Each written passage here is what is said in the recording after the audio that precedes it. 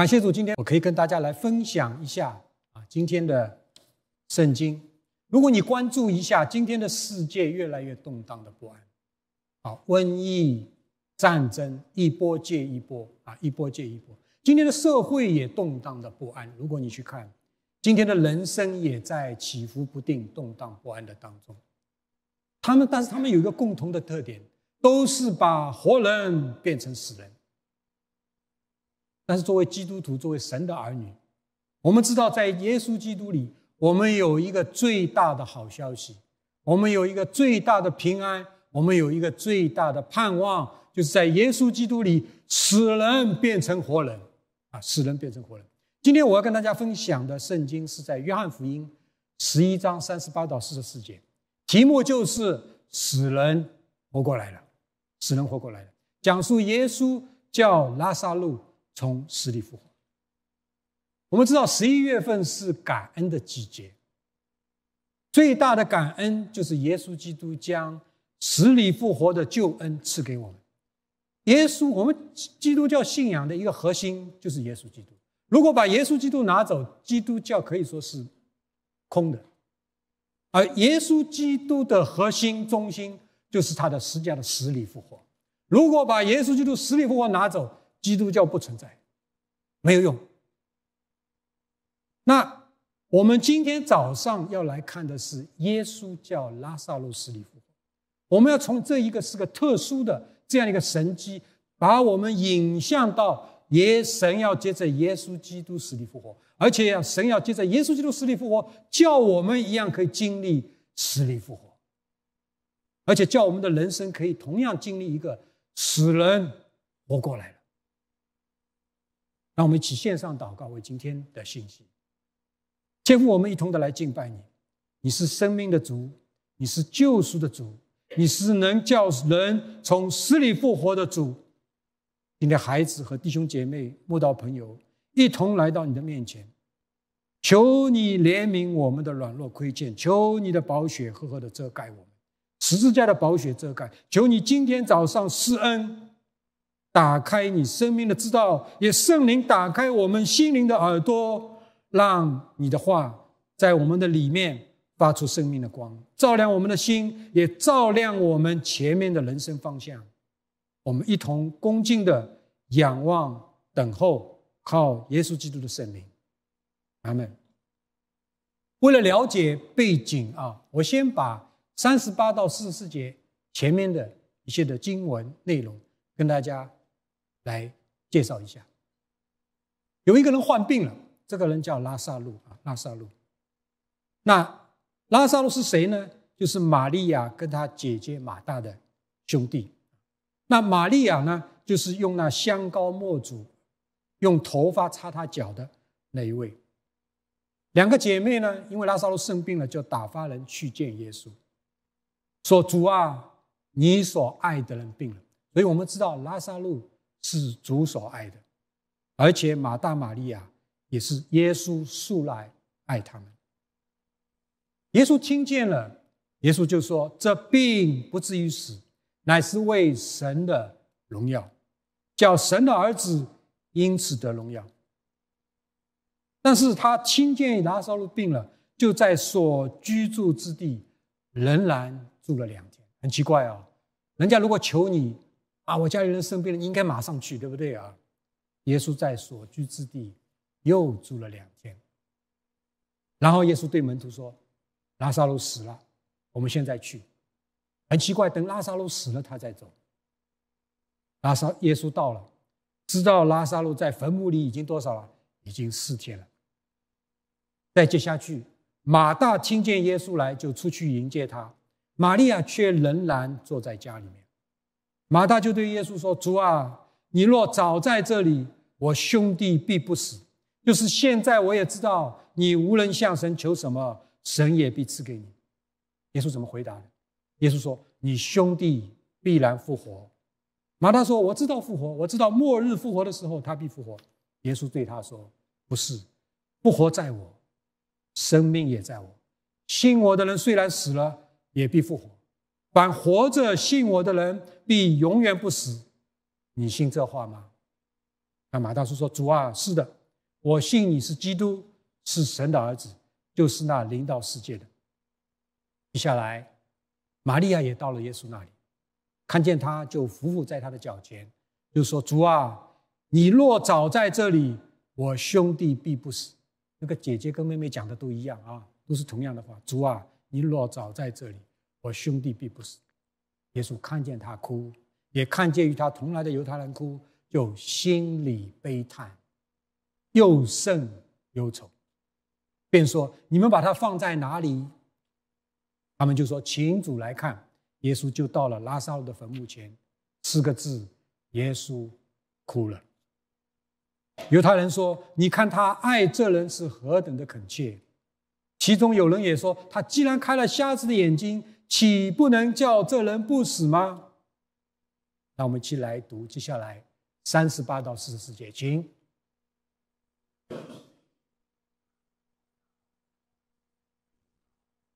一个洞，有一块石头。耶稣说：“啊，石头。”啊，他的鼻是臭了，因为他已经四天。耶稣说：“我不是对你说过？”你要信，就必看见神的荣耀吗？好，我们再接下去看四十一到四十节，请。耶稣举目望天，说：“啊，我感谢你，因为你已经听我。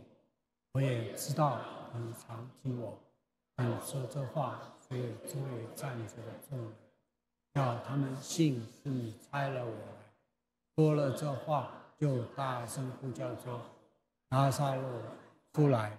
那死人就出来了，头脚裹着布，脸上包着铜巾，也对他们说：“解开，叫他走。”死人实在是耶稣今天要让我们来思想。你看，因为拉萨路病重的时候，耶稣得知消息没有马上去，他反而多待了两天。等等到什么时候？等到拉萨路死了，然后说拉萨路死了。我们现在去看他，所以我们看到耶稣好像有意让耶稣拉萨路死这件事情先发生，然后将拉萨路这个死人摆在我们的面前，让我们一起来思想这一个的死人。所以我们现在就来看第一个题目：耶稣的悲叹。三十八节说，耶稣又心里悲叹。如果你刚刚听到我讲的话，在这个场景的当中，圣经三次提到耶稣的悲叹和哭。三十三节，耶稣心里悲叹，忧愁忧愁；三十五节，耶稣哭了；三十八节，耶稣又心里悲叹。这里我们首先可以看到，耶稣非常同情他所爱的人拉萨路的死，就像周围的人也看出来，他说：“他，你看他爱这个人是何等可切啊，恳切。”但是我们发现，耶稣的悲叹、耶稣的哭，不光是一个同情，更有多层面的感情在里面。我们回顾那个流程，我们看到耶稣首先延迟了两天，有意等拉萨路死了之后，有意把这个死人摆在众人的面前，然后耶稣来了，然后玛利亚埋怨耶稣：“主啊，你若早在这里，我兄弟必不死。”然后耶稣听了他这个话，耶稣看见他哭，也看见他这些同来的犹太人哭，就怎么样，心里悲叹，而且又生又愁。然后大家把耶稣带到了拉萨路坟墓前，拉萨路看见，啊，耶稣看见拉萨路已经在坟墓里面了，耶稣就哭了。再接下来。旁边听到有人在讲了，那么就他既然开了瞎子的眼睛，岂不能叫这人不死吗？听了这话，耶稣又心里悲叹。所以归纳下，我们看到耶稣非常同情他所爱的人拉萨路的死，非常的同情啊，拉萨路死，这是他所爱的。但是我们也看到，耶稣把这个死人，他不是在他病的时候就来医治他。而是等他死了以后就来。我们看到耶稣有意的把这个死人摆在众人的面前，因为这也是我们人类每一个人所面临的一个归宿。耶稣把这样的一幕的场景放在众人的面前，他也很同情我们人类在走这条归宿的道路。是，这里面我们要看到，耶稣也为他所爱的人小幸而悲叹，是不是？他听到玛利亚这句话，听到他在哭，耶稣也悲叹。同时，耶稣也为众人对他的不幸而悲叹。很多人已经看过他的神迹，听过他很多的讲的道，但是还是说啊，好像对他有怀疑。所以，当耶稣在拉萨路坟墓前的哭和悲叹，我看到的时候，我就有一些思考，跟大家来分享。首先，我想到耶稣在背十字架的路上，对旁边的妇女讲了一句非常深刻也非常奇怪的话。你知道，到耶稣在背十字架走的时候，旁边的妇女为他哭，这个是很正常，对不对？那些妇女爱他，但是耶稣讲什么？耶稣说：“不要为我哭，当为自己。”和自己的儿女哭，你是不是觉得很奇怪啊？耶稣讲话有的时候，嗯，很多一下子摸不着头脑。但是耶稣讲这句话，然后我就把进一步把的眼睛看到整个的圣经，我发现神在向我们讲一个非常重要的信息，就是人要为自己的罪哀哭。在旧约的里面，以斯拉打开，重新打开，在复兴百姓的时候，重新打开神的话。读神的话，以斯拉就祷告、认罪、哭泣，匍匐在神的殿。而旁边的以色列中男女孩童也聚集到以斯拉那里，成了大会。后面就是众民无不痛苦，众民无不痛苦。而且神在旧约强调一句话，就是神不要你外表的哭哭啼啼，神要的是你内心哭泣悲哀。在约珥书里面第二章十二到十三节，耶和华说：“虽然如此，你们应当进食、哭泣、悲哀，一心归向我。你们要撕裂心肠，不要撕裂衣服，归向耶和华你们的神，因为他有恩典、有怜悯，不轻易发怒，有丰盛的慈爱，并且后悔不将所在的灾。”新约同样在雅各书里面。他说：“你们亲近神，神就必亲近你们。有罪的人呐，要洁净你们的手；心怀恶意的人呐，要洁净、清洁你们的心。后面怎么说？你们要愁苦、悲哀、哭泣，将喜笑变作悲哀，将欢乐变作愁闷。”耶稣在马在路加福音第六章里面也说：“你们哀哭的人有福了，因为你们将要喜笑。”因为你们，你们喜笑的人有活了；因为你们将要哀痛哭泣。你觉得很奇怪，为什么我们不要？圣经不是讲我们要喜乐吗？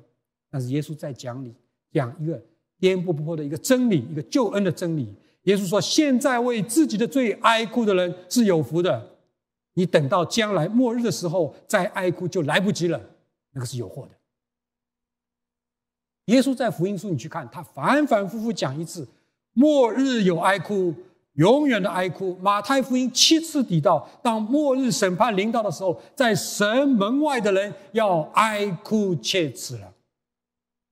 我们要问神，为什么要人为罪哀哭？因为我们知道罪的结果就是什么？就是死。而人对死的常态是什么？就是哀哭。神用人的常态告诉我们说：你。人是死在过犯罪恶当中，拉萨路这个死人的这个形象，代表着所有最最终的人一个死的一个光景，啊，一个形象。我们看到耶稣一共哭过三次啊，耶稣为拉萨路哭死一次，耶稣为在克西马尼园啊，在也为耶路撒冷进到耶路撒冷，他为耶路撒冷哭。耶稣也在克西马尼园祷告，为十字架的代赎。圣经讲说。希伯来书里面讲的，他讲爱哭，这三件事都是跟人因为罪要走向灭亡有关系。神在以西结书讲一句话，他说：“我不喜悦死人之死，所以你们当回头求存活，回头求存活。”耶稣是神，耶稣的悲叹，耶稣的哭，也表达了神对人的一种的感情。不喜悦人在罪中死去，神盼望人为自己的罪哀哭痛悔，回转归向神，在生命当中能够活过来。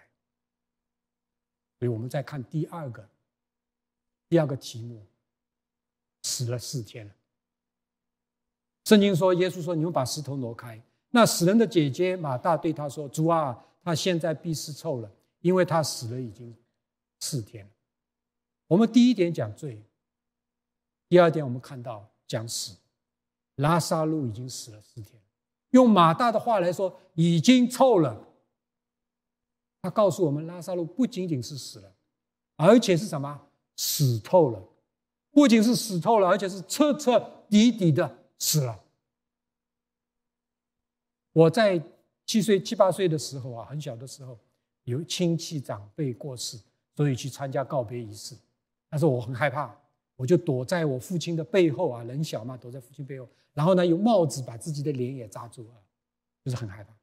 我大学毕业的时候，毕业以后，我的外婆过世，那个时候我已经不害怕了，因为我们一起在家里面在一起的。那在告别的仪式上，我摸过我外婆的手。那是冰凉，没有生气。那个是我第一次感受到死到底是什么。实际上，死就是分开。我在那个时候体会，我跟他讲话，他根本不会理我，他也不会跟我讲。死就是分开，没有往来。死者不会对你讲话，也不会听你讲话。神用拉萨路在坟墓里面这个情景。来告诉我们，我们人在神面前的光景就是这样一幅光景。我们是死透的人，我们从感情到理智到意志都是死在最终，不回应神也不归向神的人。我们虽然每天好像活蹦乱跳，走进走出，但是神看我们是什么？活死人。神看我们是死人，是一个活死人。我们不跟神说话，我们也不会理会神对我们说话。我们看到圣经告诉我们，神在起初造人的时候，人在神的面前是看为美好的。神也对人说：“院中各样的果子你可以随意吃，只是分别善恶树上的果子你不可吃，因为你吃的日子必定死。”神告诉我们，起初造人，至至少有三方面的事实：第一个，人有自由选择的权利，人可以选择服从神，人可以选择不听从神。第二，人在神面前是一个有责任的人，你吃的日子必定死啊！有责任的人，院中分别善恶的果子你不能吃，这是人的责任。但是第三点，我们看到人承担不服从而带来的苦果。亚当夏娃选择不服从，其结果也选择了不服从的后果，就是死，与神分开。我们知道当时亚当夏娃没有马上死，对不对？但是，亚当夏娃跟上帝的关系破裂了，跟上帝不能在一起了，他们只能分开了。这就是圣经讲的，我们灵里面与神分开，灵里面的死。亚当夏娃后来有没有死？他身体也有死，对不对？啊，他身体也有死。那我们人类最后还要面临一个世界末了的时候，一个永远的死。当耶稣基督再来的时候，天地都要废去。当我们选择不要神的时候，那个时候我们就与神永永远远的分开。很多人说地狱这么残酷，神为什么要把地狱输给人？其实地狱是人自己选择的，因为神要不选择与神分开。你不要神，神到最后的是说我尊重你的选择，你去地狱吧，跟我永远的分开。亚当犯罪的影响非常的严重，意义深远。人被造的本质就被破坏了。原来是神与人可以在一起的，不服从神已经在人的生命当中成为正常的一部分，世世代代不断的延续，整个的人类现在一个死的境地，这是我们看见。我们听听神对人的一个评价。罗马书说：“他们既然故意不认识神，神就任凭他们存邪僻的心，行那些不合理的事。”我们听听什么样的事情？装满了各样的不义、邪恶、贪婪。恶毒、阴毒，满心是嫉妒、凶杀、惊震、增进、诡诈、毒恨，又是忏悔的，又是背后说人的，怨恨神的，辱骂人的，狂傲的，自夸的，捏造恶事的，违背父母的，无知的，卑约的、无亲情的、不怜悯人的。他们虽知道神判定行这样的事的人是当时的，然而他们不但自己去行，还喜欢别人去行。以弗所书第二章说：“人是随从今时的风俗，人是顺从魔鬼，人是放纵肉体的私欲，随着心中所喜好的去行。人在神的眼中是可怒之子。”罗马书第五章跟你讲，不是一部分人犯了罪，而是众人犯了罪，而且神要照个人的行为报应个人。神对整个人类下了一个定论：没有一人，连一个也没有；没有明白的，没有寻求神的，都是偏离正路，一同变为无有；没有行善的，连一个也没有。人死在过犯罪恶的当中，不是人被迫这样，好像我没办法，我只能够在最终，而是人在最终很享受。有一句口头禅，好的要死。江浙一带的人可知道，好的要死啊，就是好到一个程度，人和罪好到一个程度，要好的要死，这就是人的一个光景。这就是圣经讲的，人死在贵和过犯罪恶当中，这就是人在神面前死透的光景。我们人已经不能够用改良、改善来改变自己，来改变自己的人生。无论是在我们当中信主的，无论是在我们当中还没有信主的。求神帮助我们，求神帮助孩子，也求神帮助我们认识罪在我们身上的严重性和顽固性。但是不要忘记，这不是绝望，在绝望的同时，我们看见神也这也是耶稣基督救恩的起点。只有当我们认识我们人是坏透了，我们人是死透了，我们才有一个真正完全来仰望耶稣的这样的一种心，一种的回应。才能让我们自己到自己对罪是无能的，才能让自己有一个心说我要到神的面前，我要到耶稣基督的面前。有的时候我们基督徒，我们需要的十字架这么小，什么意思？就是我觉得我还不错，我只是有一点问题。有的时候看神也不是那么大啊，看神也是这么小，因为我只是需要一点点的十字架。但是不要忘记，当认识自己的无能死透了。当认识神是何等的伟大圣洁的时候，我们的十字架，我们越看神越高，越看自己越低的时候，我们中间的十字架就越来越大，越来越意识到我们需要十字架。接下来我们来看第三个，你若信，看到自己的无能，寻求耶稣的救恩的时候，我们就会来到神的面前，求耶稣的拯救。第三点，你若信。四十节说，耶稣说：“我不是对你说过，你若信，就必看见神的荣耀。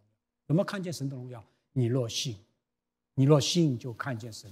这里耶稣要人学习用信心来回应，啊，用信心来回应。怎么回应？耶稣前面有句话：我不是对你说过吗？那么回到前面，耶稣在二十五、二十六节对马大说过，记得不记得啊？复活在我，生命也在我。信我的人虽然死了。也必复活。凡活着信我的人，必永远不死。你信这话吗？耶稣提醒马大，信心的焦点是耶稣到底是谁？耶稣讲过的应许。前面那句话，耶稣讲的是复活在我，分生命也在我。什么意思？耶稣讲我就是复活，我就是生命。耶稣是谁？后面那句话，信我的人虽然死了。也必复活。凡活着信我的人，必永远不死。这个什么？这是应许。耶稣有介绍他是谁，耶稣也介绍他的应许。今天我们会说，我们怎么能够随便相信一个人所说的话？是的，因为很多时候我们对这个人的可信度怀疑，对不对？所以很多时候我们不相信那个人。那我们怎么知道耶稣讲的是可信的呢？今天整本圣经都在告诉我们，耶稣是谁。他是神，他是掌管宇宙万物的神，他是创造生命、掌管生命的主，他是叫死人复活的神。他有应许，他不仅有应许，他有大能。他不仅有应许、有大能，他而且是信实可靠的神。我问大家：神如果有应许，没有能力做，有没有用？神如果有应许、有能力，但是他不信实，有没有用？所以，但是我们看到，从圣经可以看到，耶稣基督有应许、有能力，更是信实可靠。他有一个名字叫诚心真实，也就是说，他是信实可靠的。他说过算数，他说到做到，所以他是可信的。所以，今天我们读圣经，我们一定要读出耶稣基督是可信的。耶稣基督是可靠的，耶稣基督是信实的，否则我们就会有小信而不信。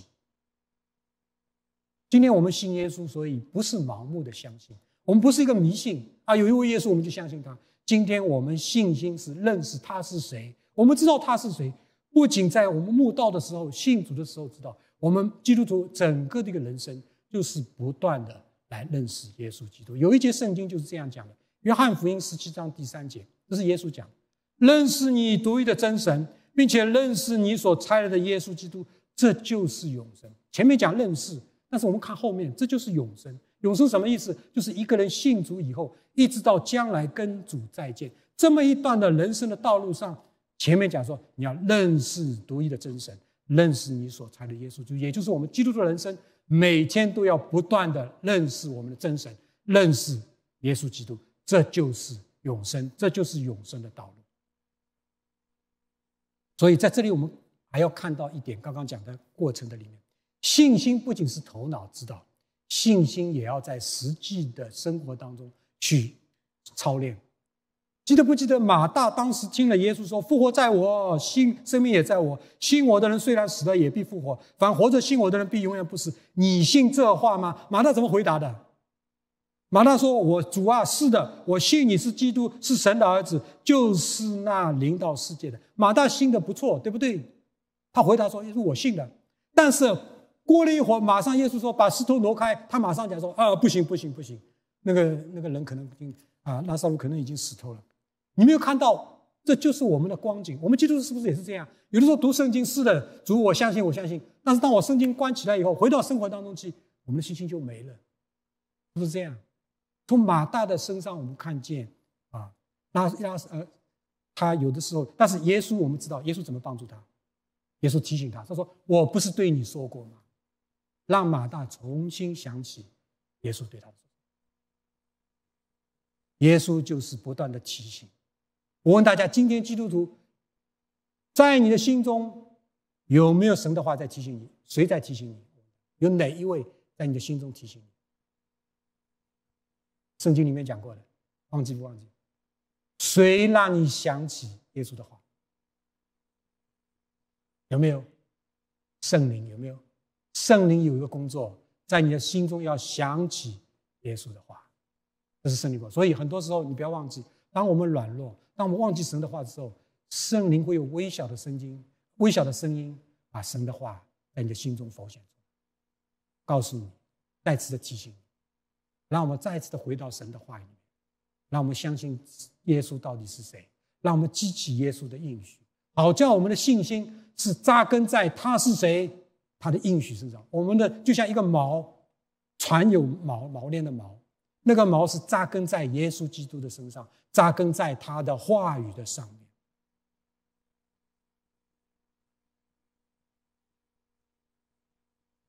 耶稣这样的帮助马大。圣灵经在，也是这样帮助我们，叫我们不断的在实践的生活当中，不断的来经历它。信心需要相信耶稣是谁，我们讲过，信心需要有耶稣的话，信心更要有行动的回应。耶稣在讲“你若信”的时候，耶稣有个具体的吩咐，就是三十九节讲：“你们把石头挪开”，对不对？耶稣讲：“你们把石头挪开。”在讲信之前。你们说耶稣是不是很麻烦？我问大家，耶稣不让石头磨开，能不能把耶稣把拉萨路从坟墓里面叫出来？可不可以？耶稣可做得到做不到？做得到。但是耶稣怎么这么麻烦，还要人把石头挪开？在这里我们可以看到一件事：耶稣让人相信他是谁，耶稣还要能让人听从他的话。你们把石头挪开。记得不记得圣经里面有个故事？就是神让那个、那个、那个、那个耶稣让让那个那个眼睛瞎的用用泥用那个泥在水里面放点泥，往眼睛摸一摸，是不是这个水这个泥土放在水里面很很灵验啊？是不是这个水这个泥土很？还是耶稣有大能，还是神有大能？很多时候神会叫人做一些好像人觉得很奇怪的事啊，但是很多时候神是让人活出一个信心，相信他所说的话，相信他是谁。在这里也是这样。我问大家。把石头挪开，能做可以做到，做不到？做得到，做不到？人把石头挪开，做的可以做到吗？可以做到。但是人可不可以把拉萨路从坟墓里面叫出来？做不到。你就看见一个真理：神让人做可以做的，神做你做不到的，这就是神迹啊！这就是神迹。所以我们看见今天也是一样。我问大家。今天你找工作，耶稣可能不可能就是你 resume 也不用发，interview 也没有，然后把一个工作给你，可不可以？耶稣可以，但是神还是耶稣。我们祷告的时候，神还是让我们接着祷告，让我们还要写 resume，让我们还要去 interview，对不对？你还要准备。今天我问大家，你求神医治我的时候，是不是神马上可以医治我？可不可以？我们有很多见证，对不对？祷告神就对。但是有的时候，大部分情况，神还是让你怎么样？你要去看医生，你要吃药，是不是？神让人做你可以做的，神做你做不到的，对不对？我们看到很多的见证都是这样。好，接下来我们就看，当人跨出信心一步的时候，神做什么？第四，大声呼叫。我们来看大声。这里讲说，他们就听从耶稣吩咐了，他们就把石头挪开。耶稣举目望天说：“父啊，我感谢你，因为你已经听我，我也知道你常听我。但我说这话是为周围站着的众人，叫他们信是你差了我来。”说了这话，就大声呼叫说：“拉萨路出来！”首先，我们看他们听从耶稣啊，他们就把石头挪开，照耶稣吩咐就做了。接下来，耶稣要让他们看见。神的荣耀到底是什么呢？首先，我们看见耶稣是做一个公祷，他举目望天，向父神公开的祷告。他首先感谢父神，而且从他的祷告里面看见，他要让人看见说，耶稣要做的就是父要做的，父要做的就是通过耶稣来做的。他要叫周围的人知道说，耶稣就是从神那里来的，耶稣就是神。耶稣的祷告要让人看见耶稣这样的一个荣耀。今天也是一样。今天很多时候，我们可能把神的荣耀局限在啊，神为我找到了一个工作啊，神为我医好了疾病，或者神把我一个困难消除了，这些还不是神的荣耀。真正的神的荣耀要通过这些神的帮助，病得医治，工作找到，困难消除，让我们认识他就是神，他有神的荣耀的光辉跟能力，让我们要去认识他，让我们去寻求他，这个是神真正帮我们要做到的啊！耶稣希望我们能够做到。接下来还有一件事很很有意思的，耶稣就大声呼叫拉萨路出来。我问大家，今天你去墓地叫一个人，你能把一个人叫出来吗？你叫上一天一夜，没有一个人可以出来，对不对？所以我们看到拉萨路把呃耶稣把拉萨路叫出来，有一种能力，这个能力首先是让他活过来。你说死人他根本听也听不见，对不对？他首先让他活过来，不仅活过来。他还要醒过来，他不仅醒过来，他还要听见耶稣声音，他还要走出来。所以耶稣有一个能力，能够让他活过来、醒过来、走出来啊，走出来。有一节圣经，大家比较记得，在约翰福音五章的二十五节讲：死人要听见神儿子的声音，听见的人就要活了。我们看到在今天的经文里面，拉萨路听见了耶稣的声音，听见就要活。耶稣这句话也是指着救恩来讲的，死人要听见神儿子的声音。什么死人？就是我们这些活死人。我们中有些人，哎，我们听见了耶稣的声音，我们听到了圣经，我们听到了耶稣的话，我们听见了耶稣的声音，听见了就活过来。今天有许多肉身的耳朵听见了耶稣的话，听见了耶稣的召唤，但是心灵的耳朵封闭、顽梗，不要听，也不接受。但是也有很多，在我们当中，我们肉身的耳朵听见了，听见了耶稣的话，也听见了耶稣的呼唤；心灵的耳朵也听见欢喜领受耶稣的召唤，从死人变成了活人。我问大家：拉萨路复活还会不会死？会死啊！拉萨路还会死，但是神耶稣叫拉萨路复活，这一个神迹是告诉我们一件事：不是拉萨路会不会死，而是告诉我们神有死人复活的大能。让我们转眼看到这个，而且告诉我们怎么样？一个指针指向后来神要叫耶稣从死里复活。我问大家：耶稣从死里复活还会不会死？他有没有死？不会死的，他是活到永永远远的。所以今天我们要想一件事：我们今天的复活是照拉萨路那个样式，还是照耶稣基督那个样式？耶稣的样式。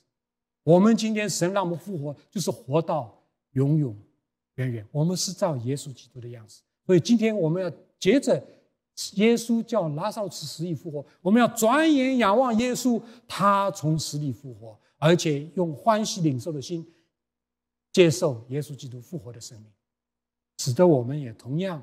可以与耶稣一同的复活来啊！圣经里面讲的，这就是耶稣在前面二十五、二十六节讲的：“复活在我，生命也在我。信我的人虽然死了，也必复活；凡活着信我的人，必永远不死。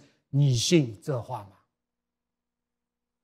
最后我们来看啊，来看死人出来了，我耶稣叫了拉萨路出来，那死人就出来了，手脚裹着布。脸上抱着头巾，耶稣对他们说：“解开，叫他走。”我们知道拉萨路是听见了耶稣的呼唤。拉萨路不仅听见，而且我们看见他是听从。会不会我们说拉萨路他听见耶稣，拉萨路出来，拉萨路呢他也醒了。拉萨路，拉萨路他要不说：“我不要出来，我在这里躺得很好。”会不会这样子？没有，对不对？拉萨路他首先他是活过来。他醒过来，他也听到耶稣叫，然后听到耶稣拉萨路出来，他就出来。而且我相信哦，他也是这样蹦蹦跳跳的，因为脚上还裹着那个布嘛，他一定是跳跳蹦蹦跳跳的出来。拉萨路这一幅的景象，我问大家，他是离开哪里？他是走向哪里？他离开哪里？他离开坟墓，他走向哪里？走向耶稣。我问大家。离开坟墓走向耶稣，是不是今天我们重生得救的基督徒一个人生的道路？就是离开坟墓走向耶稣，这是我们每一个神的儿女一个的形象。我们今天也要反思：我是不是一个离开坟墓走向耶稣的人啊？走向耶稣的人。我们刚刚还说了，他这个死人出来了，死人出来了。你看他这个话，死人出来了，手脚裹着布。脸上包着头巾，那头巾还在，身上那个布还在，但是他蹦蹦，我相信他一定是蹦蹦跳跳出来了。这一个形象，我问大家，是不是我们每一个重生得救基督徒，我们信耶稣的那天，我们就是这个形象，是不是？圣灵进到我们心里面来，我们求圣灵进来，但是我们的肉体情欲那个时候还在不在？还在，是不是？我们有些不好的习惯、罪的习惯，那个时候还在不在？还在。这个世界很多的罪恶在引诱我们。撒旦还是不断的让我们犯罪，这些在不在？还在。这些就好像裹着的布，包着的头巾。但是有一点不同了，耶稣已经吩咐了。这里怎么讲？耶稣吩咐说：“解开，叫他走。”感谢赞美主。主知道拉萨路不可能靠自己完全脱离这些裹着的布、包着的头巾，所以怎么样？啊，吩咐周围的人帮助他解脱。今天我们信主以后，也同样，我们有一件事情，耶稣要做一件事情，帮助我们身上裹着的布、包着的头巾，要一个一个的去掉，要一个一个去掉。我们看见，在我们今天我们信主以后，我们都要加入一个团契，加入一个教会，加入一个小组，对不对？我们思想一下，这些安排在我们的基督徒，是不是就是帮助我们？解开叫他走的人，是不是？耶稣那个时候是吩咐旁边人解开。今天耶稣怎么解？帮助我们解开，让我们生活在团契小组教会里，让周围的弟兄姐妹一起帮助我们。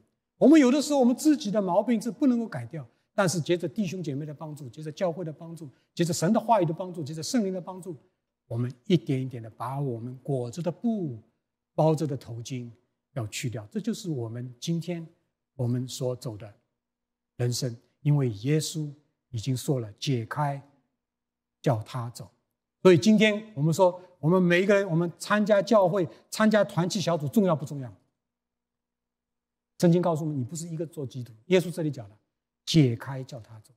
所以对自己说，在我周围的教会或者团契小组弟兄姐妹，都是帮助我解开叫我走的人。对自己这样说，你要对周围的弟兄姐妹说，你是解开叫我走的人。离开坟墓。走向耶稣的人，我们也看到，而且是一个为耶稣做见证的。接下来就是第十二章的里面有一句话，就是有人给耶稣预备宴席，在这个宴席上，马大伺候，拉萨路也在那同宴耶稣坐席的人当中。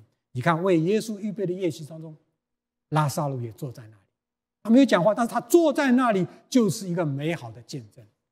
今天所有重生得救的基督徒，我们也一样，我们无论在什么地方。哪怕你坐着不讲话，你要成为一个耶稣基督的见证人。所以在这里，约翰福音五章二十节讲说：“我实在告诉你们，那听我话又猜又信猜我来者，就有永生，不至于定罪，是已经处死入生了。”当耶稣基督进到我们生命里面，圣灵进到我们生命里面，啊，呼唤我们，我们接受他的时候，我们就是一个猝死。入生，就像拉萨路，他已经不是个死人了。当耶稣喊拉萨路出来的时候，他不会躺在那边，他会蹦蹦跳跳的出来，然后怎么样？裹着的布，包着的头巾，一个一个要取掉。我们是离开坟墓，走向耶稣的人。这也是我们今天我们每一个信耶稣、重生得救基督徒一个的人生。但是不要忘记，这个世界。魔鬼，还有我们的老我，还是不断的要用罪、用邪情私欲来包裹我们。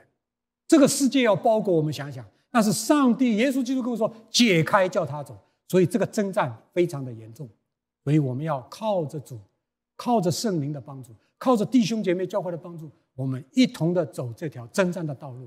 我们要抵挡世界，抵挡魔鬼，抵挡我们的老我。我们相信有一件事。我们已经不是死在过过犯罪恶当中，耶稣已经在我们生命里面帮助我们，耶稣也在我们四维来帮助我们。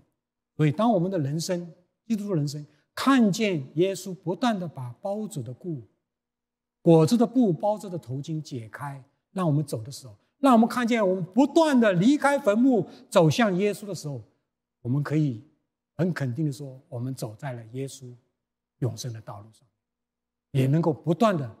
为耶稣做美好的见证。那我们接下来，我们有一段默想、回应、祷告的时间。让我们低头一同的来到恩主面前。今天我们看见耶稣从拉萨路复活的过程，这是一幅罪人蒙恩得救的图画。在我们当中还没有真正信主的，今天拉萨路从死里复活的记载中。你要看到你需要拯救，你需要看到你需要从罪和死的当中得到拯救。你救不了自己，别人也救不了你。唯有这位真神，唯有耶稣基督能够救你。如果你愿意的话，你可以现在就向主祷告：亲爱的主，我愿意向你悔改，我愿意相信接受你到我生命里面来。我相信你能帮助我。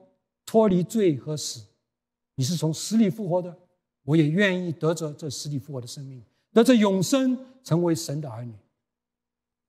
在我们的当中，我们信主的弟兄姐妹，今天的圣经也再一次让我们反省：从罪到死，到信，到救，到活。让我们一起来到恩主面前，来回应主，来向神祷告。恩主，求你今天。你帮助孩子，也帮助所有的弟兄姊妹、我们的朋友，让我们真正是一个为罪痛苦、痛悔的人。我们相信我们的主是有应许，我们的主是有能力，我们的主也是信实可靠的主。帮助我们的信心扎根在主和他的应许上面，帮助我们也做一个对主和他的应许有回应的人。对主能够真正的回应，是离开坟墓走向耶稣的人。我们也帮求圣灵，求神的话，也求我们周围的弟兄姐妹帮助我们，不断的除去身上的罪，不断的做一个离开坟墓走向耶稣的人，不断的脱去那些包裹我们的布和我们头巾，真正的做一个。为耶稣做见证的人，靠着为我们从死里复活的主，靠着他赐给我们死里复活的生命，真正的活出一个使人活过来的样子。我们这样的祷告不配，乃是奉耶稣基督的圣名，阿门。